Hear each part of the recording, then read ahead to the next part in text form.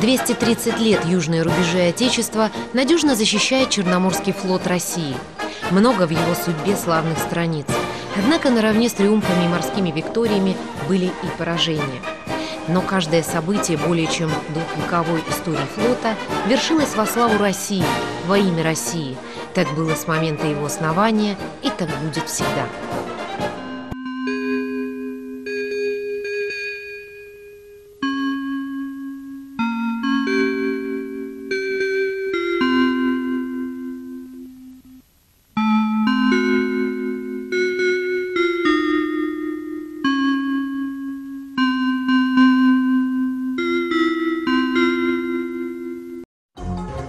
После рескрипта Екатерины Великой о присоединении Крыма к России началось укрепление южных границ империи.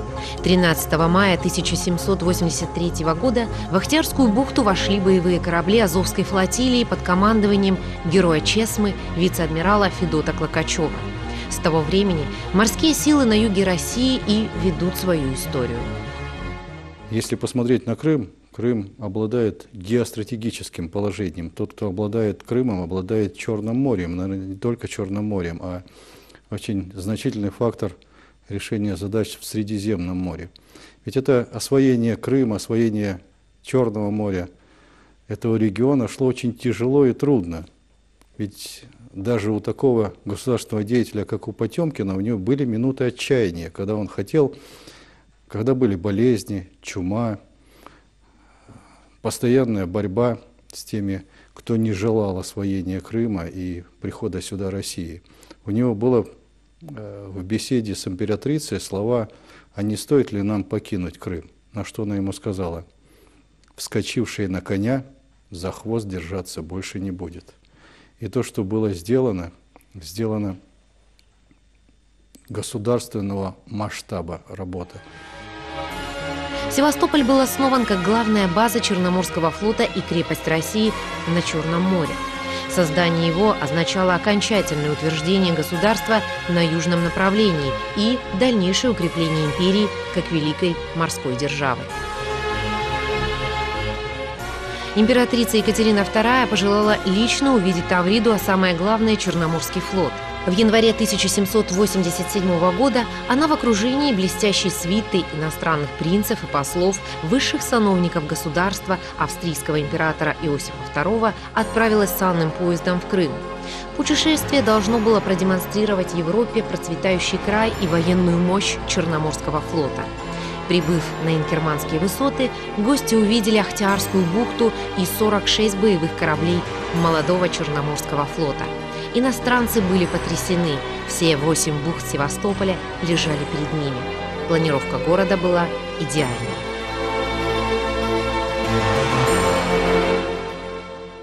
Я бы еще хотел одну деталь подчеркнуть в деятельности Потемкина. Он умел подбирать людей. Ведь подобрать сюда Федора Федоровича Ушакова, беспримерного героя моряка, оказавшегося великим флотоводцем, как его иногда называют флотовождем, это гениальная способность находить людей, которые тебе помогают в решении этих вопросов. Как сказал поэт, изучив биографию Ушакова, Нахимова, Лазарева, поэт Борис Пастернак, вся жизнь их подвиг неустанный. Они, не пожалев сердец, блистают темой для романа и дали чести образец. Вот чести образец Черноморский флот в лице своих выдающихся, выдающихся сынов показал всей России. В истории знаменательна дата 1788 год, первая победа Черноморского флота и связана она с именем Ушакова. Севастопольская эскадра одержала блистательную викторию у острова Федонисии. Империя рукоплескала своему молодому флоту.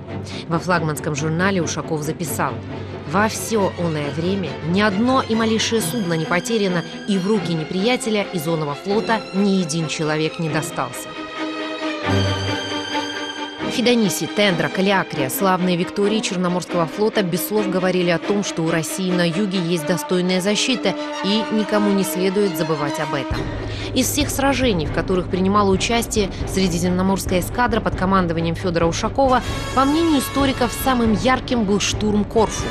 Одна из старейших крепостей Европы, она ни разу не была взята. Считалась неприступной.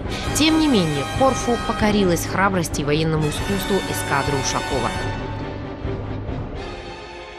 Бессмертный подвиг совершил 26 мая 1829 года экипаж брига «Меркурий» под командованием капитан-лейтенанта Александра Казарского.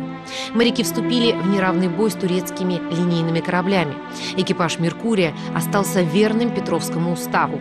Бриг не спустил флага перед превосходящими силами противника и вышел из боя с победой. 1832 участник трех кругосветок, один из первооткрывателей Антарктиды, герой Новоринского сражения, адмирал Михаил Лазарев, назначен начальником штаба Черноморского флота. Он возродил лучшие традиции Ушакова и Синявина, лично следил за строительством кораблей. При Лазареве было построено более 120 боевых единиц и судов. Под его руководством Черноморский флот стал одним из лучших парусных флотов в Европе. Он сплотил вокруг себя талантливых, любящих морское дело офицеров, воспитал будущих героев Севастополя Нахимова, Корнилова и многих других – Восточная война 1853-56 годов вошла в мировую историю как самая кровопролитная и парадоксальная битва XIX века. Против России в ней приняли участие все ведущие государства той эпохи – Великобритания, Франция, Османская империя и Сардинское королевство. Театром военных действий были Балканы и Балтика, Белые, Баренцево моря, Тихий океан, Кавказ и Черное море, но главные сражения проходили в Севастополе и Крыму. Поэтому война больше известна под названием Крымской. Именно здесь, в главной базе Черноморского Черноморского флота произошли события, имевшие далеко идущие последствия для всех участников той страшной эпопеи. 14 сентября 1853 года Турция объявила о разрыве дипломатических отношений с Россией. Некоторые историки ищут причины войны в Синопском сражении. Турецкий флот был разгромлен эскадрой под командованием Нахимова в течение нескольких часов. Османская империя лишилась не только своих лучших кораблей, но и береговой артиллерии. В числе пленных оказался вице-адмирал вражеского флота Осман Паша. Севастополь оказал своей эскадре восторженный прием. Корнилов об этом сражении писал Битва славная, выше Чесмы и Наварина. Ура Нахимову! Лазарев радуется своему ученику.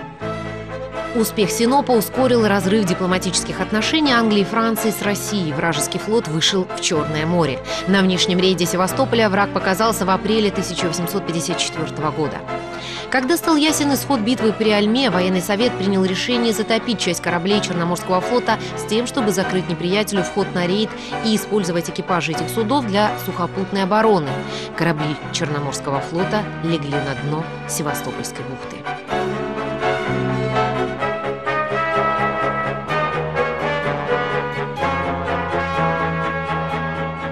Война выдвинула целую плеяду военачальников, которые одно имя ярче другого. Адмиралы Нахимов, Истомин, Корнилов, генералы Татлебин, Васильчиков, Хрулев и многие-многие другие. Неувидающей славой покрыли себя все защитники от матроса до адмирала. Закончилась 349-дневная оборона, в результате которой Севастополь был назван Новой Троей, потому что в новейшей истории подобных примеров нет. Никогда ни один город не оборонялся целый год. Согласно Парижскому мирному договору, России было запрещено иметь флот на Черном море, и только после подписания Лондонской конвенции о проливах в 1871 году Россия вновь получила право иметь на Черном море флот и строить арсеналы. Именно в то время родилась, пожалуй, самая главная традиция Севастополя и Черноморского флота. Один почти стертый с лица земли, а второй затопленный и уничтоженный войной. Вместе они возродились вновь. Так было, есть и будет всегда.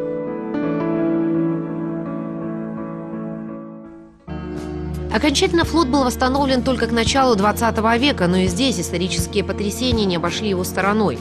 Восстание на броненосце Потемкин и крейсере Очаков, расстрел демонстраций, а несколько позже революция и гражданская война. Шесть раз Севастополь переходил из рук в руки. Он был последним городом, принадлежавшим Белой армии. Отсюда в ноябре 1920 года уходили последние корабли в Константинополь. Тогда Россия во второй раз потеряла Черноморский флот. Часть кораблей была затоплена в Цемесской бухте Новороссийска, а часть ушла во французскую Безерту. Великая трагедия великого народа, революция, гражданская война переломали многие людские судьбы, разрушили многовековую державу. Наверное, и 10 Цусим не нанесли бы России такого урона. Пожар между усобицы фактически уничтожил Черноморский флот. Возрождение рабоче-крестьянского Красного флота началось сразу после гражданской войны. С созданием Ипрона начинается подъем затопленных кораблей. Достраиваются боевые единицы, заложенные еще до революции. Первым был восстановлен крейсер «Память Меркурия», переименованный в Коминтерн. Он стал флагманом Красного Черноморского флота. Одна за другой вступают в строй 30-я и 35-я береговые батареи. Приходят новые лидеры, эсминцы, подводные лодки. Боевой состав сил Черного моря значительно окреп, что дает Клименту Ворошилову возможность заявить, флот в настоящее время представляет собой мощную организованную силу. Накануне Великой Отечественной войны в составе Черноморского флота было до 200 кораблей различных классов и свыше 600 самолетов всех типов. Флот встретил врага во всеоружии. Сам город, его население, которое к тому времени насчитывало свыше 100 тысяч человек, его промышленность также были подчинены интересам и задачам флота. Все это учитывалось фашистами при планировании нападения на Советский Союз. Высокая боевая готовность черноморцев сорвала попытку врага вывести из строя основные силы флота в первые дни войны. Фашисты бомбили Севастополь уже в ночь с 21 на 22 июня 1941 года. Гитлер понимал, что Крым – удобный плацдарм для нападения на Кавказ. Чтобы захватить Тавриду, необходимо уничтожить Черноморский флот. Черноморский флот активно участвовал в Одесской и Севастопольской оборонах, в битве за Кавказ. Черноморцы освобождали Крым, Николаев, Одессу, участвовали в Вязко-Кишиневской операции.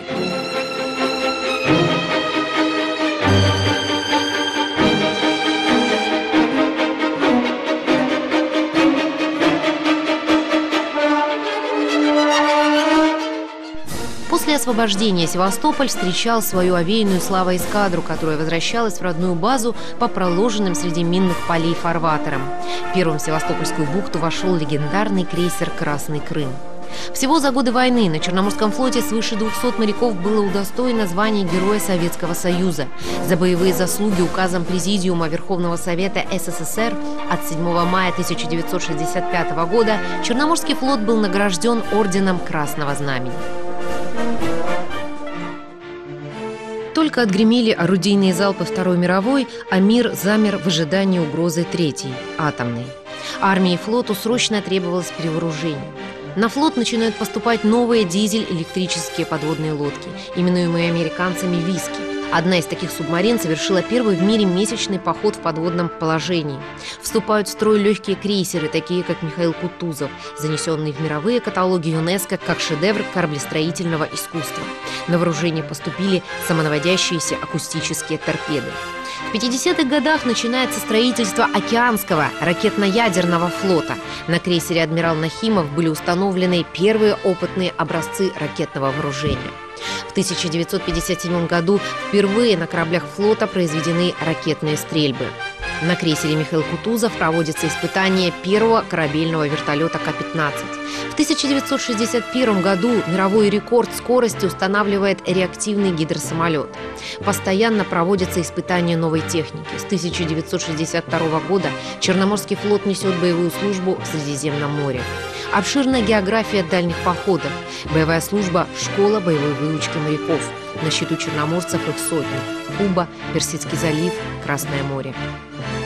Мне очень близки все действия Черноморского флота именно в этот период, когда наш флот креп, рос, был по-настоящему могучим и авторитетным во всем мире и активно плавал в Средиземном море наравне с американцами, не уступая им ни в чем середине 80-х Черноморский флот достиг апогея своего развития. По своей мощи он в два с половиной раза превосходил турецкий и господствовал на Черном море, а Крым, где базировались главные силы флота и ВВС, называли непотопляемым авианосцем.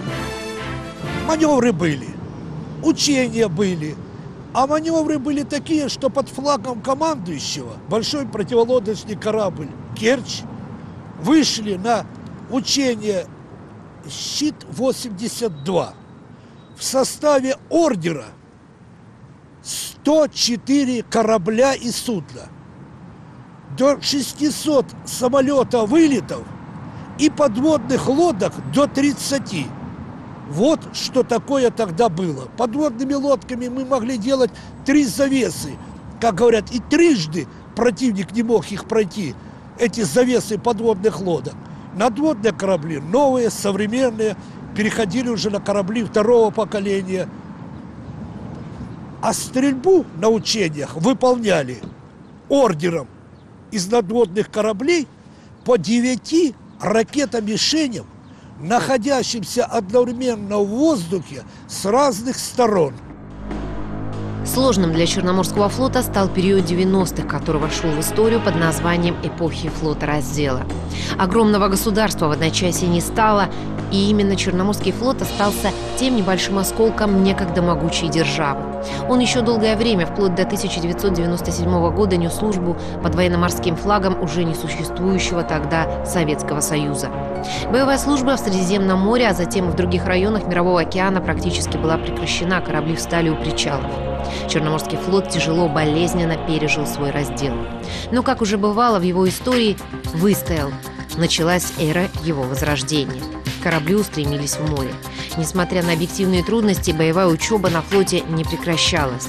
Участие в маневрах Бриз-94, Фарватер мира 97, Сибриз-98, эвакуация беженцев из зоны конфликта в Абхазии. В 1999 году десантные корабли принимали участие в перевозке российских миротворцев в греческие салоники для решения задач на территории бывшей Югославии. За годы реформ на флоте удалось сохранить главное – кадровый костяк и не потерять боеспособности. Интенсивность значительно растет выходов в море. А, мы проводили анализ. Значит, получается, в 2012 году наплаванность, наплаванность э, на уровне 1988-89 годов. То есть тогда, когда было максимальное интенсивное использование сил. Ежегодно корабли Черноморского флота совершают визиты в порты Франции, Португалии, Италии, Турции, Болгарии, Румынии и Туниса. Походы к берегам Сирии и в Греческую республику. Традиционно российские моряки принимают участие в общественном форуме «Русская неделя на Корфу» и празднование очередной годовщины Наваринского сражения, в котором Россия, Великобритания и Франция одержали победу над турецко-египетским флотом. С 2003 года из плавания в акватории Средиземноморья флот вышел на океанский простор, с честью продемонстрировав Андреевский флаг в портах Йемена, Индии и Египта. В совместных российско-индийских маневрах «Индра-2003» приняли участие гвардейский ракетный крейсер «Москва», сторожевые корабли «Пытливый» и «Сметливый», большой десантный корабль «Цезарь Кунников». Флот снова вернулся в мировой океан. Характер выполняемых задач, он э, очень многообразен. От э, участия в совместных э, международных учениях, в частности, такие учения, как «Ионикс», совместные российско-итальянские учения, до выполнения специальных задач по обеспечению безопасности судоходства, обеспечение действия других сил флота в дальней морской зоне. И надо отметить, что все эти задачи решались всегда с высокой оценкой и успешно. В 2003 году корабли под флагом командующего Черноморским флотом в составе крейсера «Москва» и сторожевого корабля «Сметливый» выполнили задачи боевой службы, осуществили официальные визиты в порты Итальянской республики, деловой заход в греческие Патры. В порту Ла-Мадалена флагман Черноморского флота посетили президент Российской Федерации Владимир Путин и премьер-министр Италии Сильвио Берлускони. Огромный вклад в общее дело выполнение задач вносят корабли бригады десантных кораблей. Это и эвакуация беженцев из различных зон конфликтов, перевозка гуманитарной помощи, боезапаса, техники и людей. За последние 5-7 лет соединения э, и корабли соединения очень много ходили в море, решали задачи не только в Средиземном море, Черном море, но и на театрах плавания – Индийского океана, на театре плавания э, Балтийского флота. Принимали участие в 2009 году в учениях Запад-2009. Три корабля Черноморского флота туда уходили, э, участвовали в спасении, в поисках, в последующем спасении корабля Арктик Си в 2009-2010 годах. Принимали участие в стратегическом командном учении «Кавказ-2012». В этом году планируются такие же масштабные мероприятия. Если они состоятся, то корабли, корабли бригады однозначно в них примут участие. С 2002 года ежегодно проходит активация Черноморской военно-морской группы оперативного взаимодействия при черноморских государств – Болгарии, Грузии, России, Румынии, Турции и Украины. Российский ВМФ в период активации Black Sea 4 представляют корабли Черноморского флота, которые также постоянно участвуют в различных международных учениях-маневрах – ИОНОКС, активные усилия, Черноморская гармония, форматор мира и многие другие. Все абсолютно все задачи, которые э, ставились Верховным главнокомандующим, э, командованием вооруженных сил, э, главнокомандующим военно-морским флотом, все на 100% выполнены с высоким качеством и без сбоев. Э, в этом, конечно, немалая заслуга непосредственно командиров кораблей. В начале 2008 года корабли дивизии участвовали в учениях совместно с корабельной ударной группой Северного флота во главе с тяжелым авианесущим крейсером «Адмирал флота Советского Союза Кузнецов», которые проходили в северо-восточной части Атлантического океана. Москва выполнила весь план боевых стрельб всеми видами оружия. По мнению специалистов, самым важным из них стало нанесение ракетного удара главным комплексом.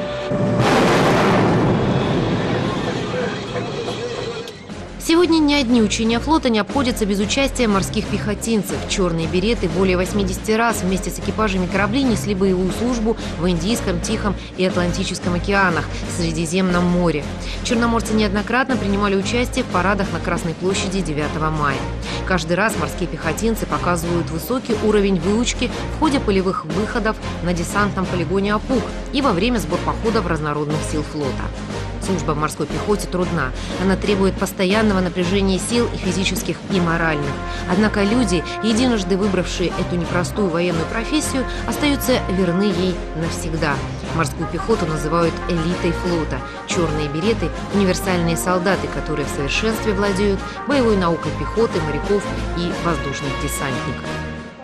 Задача ставится командованием флота на совместные действия с кораблями. Либо это действие в составе подразделений антитеррористической деятельности, либо выполнение э, специальных задач. И подразделениями от отделения до роты выполняют задачи как в ближней, так и в дальней зоне. Черноморский флот принимал непосредственное участие в операции по принуждению Грузии к миру. Моряки соединения надводных кораблей были награждены за это Верховным главнокомандующим, президентом России. По возвращении в родную базу экипажи кораблей приветствовали тысячи жителей гостей Севастополя. Люди стояли по обе стороны Севастопольской бухты с андреевскими и российскими флагами. Все корабли приняли участие в этих боевых действиях. После этого интенсивность э, боевой подготовки, решения задач в районе грузино-абхазского конфликта, в частности в Абхазии, резко возросла, потому что с 2008 года мы там на постоянной основе несем боевое дежурство двумя кораблями, чередуясь с кораблями новороссийской базы практически месяц через месяц. Иногда эта интенсивность возрастает в зависимости от сложившейся там обстановки.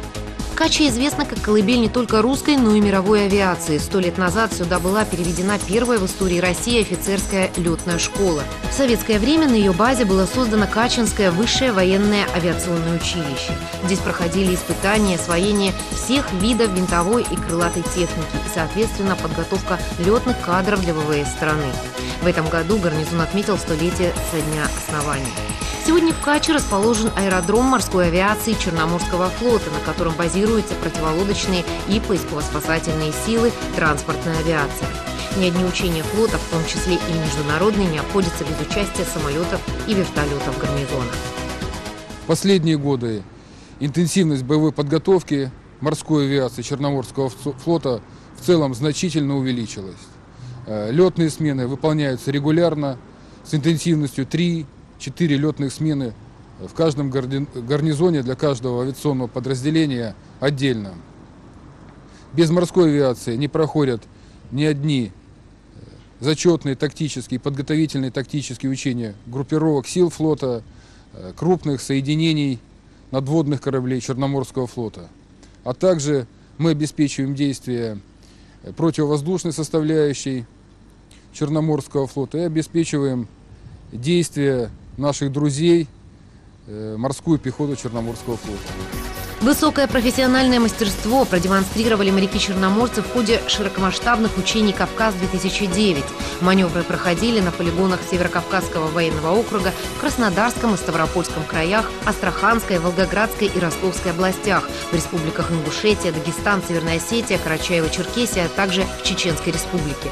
В учениях были задействованы около 9 тысяч военнослужащих, 200 танков, 450 бронированных боевых машин, до 250 артиллерийских артиллерийских орудий различного калибра, а также другая боевая и специальная техника. В маневрах приняли участие соединения и воинские части Северокавказского военного округа во взаимодействии с армией, ВВС и ПВО, а также Черноморским флотом, Каспийской флотилией, воздушно-десантными войсками и региональными структурами ФСБ, внутренних войск МВД и МЧС России. В этом же году отряд боевых кораблей Черноморского флота, пройдя более 4,5 тысяч миль через Атлантику, принял участие в оперативно-стратегических учениях «Запад-2009». На этих учениях морская пехота черноморцев стала лучшей среди других флотов. Спустя год снова крупные маневры. Флагман Черноморского флота, ракетный крейсер «Москва», принял участие в двухсторонних военно-морских учениях с индийскими ВМС и оперативно-стратегических учениях «Восток-2010», в ходе которых провел ракетный удар по морской цели главным ударным комплексом. Гвардейцы достойно представили отечественный флот в период заходов и визитов в целый ряд стран Индийско-Тихоокеанского региона. Отряд кораблей Черноморского флота в составе подводной лодки «Алроса», спасательного судна «Ипрон», спасательного буксира «Шахтерки» электро Кил-158 принял участие в международных учениях «Болт Монарх-2011». В маневрах у берегов Испании были задействованы аварийно-спасательные силы 20 государств. Подводя итоги «Болт-Монарх», иностранные военные эксперты неоднократно подчеркивали, что в числе прочих кораблей, представлявших российскую сторону, особенно отличился экипаж подводной лодки «Алроса», продемонстрировав своим коллегам по Североатлантическому альянсу мастерство школы черноморских подводников. Моряки-черноморцы успешно сдали главный экзамен года в ходе стратегических командно-штабных учений «Кавказ-2012». По заявлению Министерства обороны России, эти маневры стали более масштабными и приближенными к реальной военно-политической ситуации в регионе, чем все учения прошлых лет. Только от Черноморского флота в учениях приняли участие около 20 кораблей и катеров, авиация и береговые войска, а также вспомогательные и спасательные суда. С 28 по 31 марта 2013 года личный состав Черноморского флота участвовал в широкомасштабной проверке боевой готовности и боеспособности войск юга страны, которая проводилась по указанию президента Российской Федерации, Верховного главнокомандующего вооруженными силами Владимира Путина. Комплекс мероприятий был организован руководством Генерального штаба с целью оценки готовности войск и сил выполнять задачи по предназначению. Проверке подверглись органы управления окружного армейского и бригадного звеньев. В практических действиях приняли участие около 7 тысяч военнослужащих, мотострелковых, парашютно-десантных и десантно-штурмовых частей, а также частей разведки, связи, материально-технического обеспечения, экипажи боевых, вертолетно-транспортных самолетов и вертолетов, боевых кораблей и судов обеспечения. Черноморский флот по итогам внезапной проверки получил положительную оценку. Эта внезапность, это же было среди ночи. Причем командующий флотом находился в Новороссийске, начальник штаба здесь, часть кораблей и судов тоже решала на задачи плановой боевой учебы и способность действовать в любую минуту по внезапной вводной, формировать те группировки под конкретные цели и задачи, к которым мы не готовились, это в полной мере определяет способность решать те задачи, для которых флот существует. Сегодня Россия отмечает знаменательную дату – 230-летие ее самого южного флота. Последние годы черноморцам приходилось решать задачи в сложных условиях особого статуса флота. Определенную специфику в службу моряков привнесли обстоятельства дислокации на территории, находящейся под юрисдикцией другого государства. Меняли структуры соединения частей, сокращались кадры и корабли, однако люди, которые в разное время проходили службу на самом южном флоте России, остались верны традициям и заветам ветеранов. Я бы хотел отметить коротко итоги прошедшего года. Мы выполнили 39 деловых заходов, визитов, 17 боевых служб. Практически постоянно корабли Черноморского флота присутствовали в Средиземном море, решая те задачи, которые перед нами ставило высшее командование. Мы провели более, выполнили более 300 боевых упражнений, выполнили э, более 30 зенитных и э, стрельб крылатыми ракетами. Очень серьезная напряженная работа. Мы ни в коей мере в этом году не будем этот темп снижать.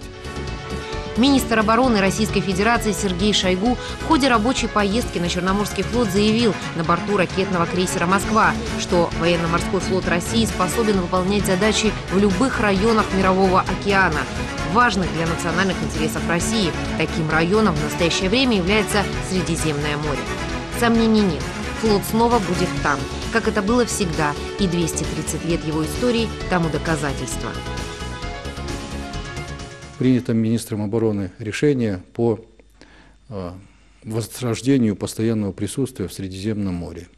Ну, в полном объеме это нельзя говорить о возрождении Средиземноморской пятой оперативной эскадры, потому что другая обстановка в мире, другие государства, но постоянное присутствие в этом регионе России – это необходимый фактор стабильности в нашем Черноморском Средиземноморском регионе. Черноморский флот готов и впредь по первому приказу приступить к выполнению поставленных задач от демонстрации Андреевского флага и до участия в ядерном сдерживании, сохраняя мир на юге России, веря в будущее своей страны, которая во все времена была великой морской державой.